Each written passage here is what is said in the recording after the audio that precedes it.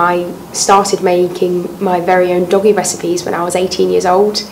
It was actually at the RSPCA where I made and sold my natural, very basic recipes to owners to raise money for the charity. I immediately absolutely loved it. At the show, I just got to cuddle dogs all day. I confetti treats all over the place, um, and it just clicked. that I had to continue what I was doing in some way, you know, on, on a permanent basis, and, and that's exactly what I did.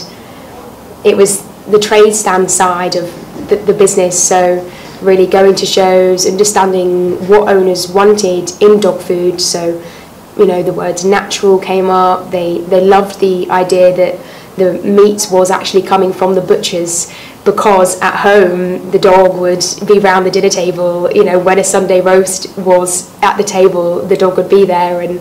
I think owners just absolutely loved the idea of the dog having their very own Sunday roast. And it was just this first Sunday roast recipe which transformed, you know, and blew open all the different recipes we have for dogs. And it is very much to, you know, kind of a, a humanised menu for them um, with very lovely ingredients as well. A doggy chef is a term that I've proudly called myself. I actually made recipes for dogs for five years and it has only been recently where we actually managed to you know have the demand to really you know go into a lovely communal kitchen where the treats are actually baked now. Um, of course, because there's no added preservatives or additives, I do have to very carefully know when they're made and you know they have to get to the owner very fast. So we literally bake it and send it straight from our kitchen to them in a matter of days, which I think the dogs can smell and know, know it's fresh. oh, we have lots of pack members. Each member, the owner rates the recipes, so of course they start to personalise the box and also the absolute best part of my job is each owner sends in a photo of their dog which we actually put on the front of the box. So when the parcel arrives, obviously you know it's Poppy's box, Poppy's on the front, she gets a recipe which she knows she enjoys and it's just a really sweet experience for them.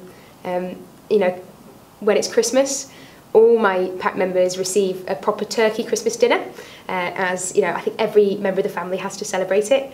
And so you can see it's just it's something really sweet and special, which is made for the dog. It's fresh and it's just a bit of fun. I welcome absolutely any dog into our pack. As a promotion at the moment, we do offer like a first trial box, completely complimentary on the doggy house. And so, you know, I say if anyone wants one, you know, as a sample, then just email in, send me a photo, which is something that I do ask for, and we'll sort that out for them. When I started Top Collar, I just had one thing in mind. I wanted to make a fun attitude towards pet health. I think the fact that all our ingredients has stayed very true to the fact that there's no preservatives, no additives, and our very unusual pet menu has blossomed, which I think is hilarious and dogs love. So I'm really pleased that we've never strayed away from how it began, which is fun, fresh and natural.